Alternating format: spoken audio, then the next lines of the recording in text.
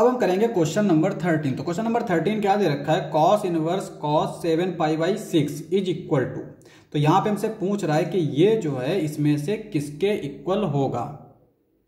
अब यहाँ पे हम कॉस इनवर्स की जो रेंज है ना, उसको याद रखेंगे। वो क्या होती है हमारी? ज़ीरो से पाई ये होती है कॉस एक्स की रेंज तो इसका मतलब ये हुआ कि यहाँ पे ये जो वैल्यू होगी ना, ये हमारी ज़ीरो और पाई के बीच में होनी चाहिए। अब अगर हम पहली वाली वैल्यू की बात करें तो यहाँ पे सेवन अपॉन सिक्स ये पाई से बड़ा है है ना? जब ये पाई से बड़ा है तो इसका मतलब ये तो हो नहीं सकता तो ये तो हम ऐसे ही डिस्कार्ड कर सकते हैं। यानी इसका मतलब कॉस और कॉस को हम कॉस इनवर्स और कॉस को हम कैंसिल आउट नहीं कर सकते। दूसरा हमारा यहाँ पे फाइव पाई बाई सिक्स है, ये हमारा पाई से छोटा है तो इसको अभी हम होल्ड पे करते हैं। फाइव पाई बाई थ्री, ये भी हमारा पाई से बड़ा है, इसका मतलब ये भी नहीं हो सकता। तो इसका मतलब दो तो हमने ऐसे ही डिस्कार्ड कर डिस्कार्ड कर दिए। अब इसको और इसको हमें चेक करना है। तो यहाँ पे हम क्या करेंगे?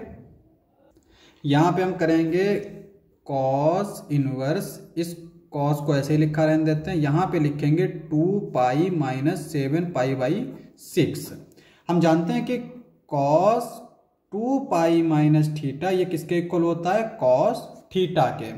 अगर हम क्वाड्रेंट बनाएँ तो ये कॉस जो है, इसमें पॉजिटिव होता है। ये टू पाई यानी टू पाई से नीचे अगर आएगा तो हमेशा पॉजिटिव वैल्यू देगा। तो यहाँ पे ये हो जाएगा कॉस इनवर्स इसको क्रॉस मल्टीप्लाई करेंगे।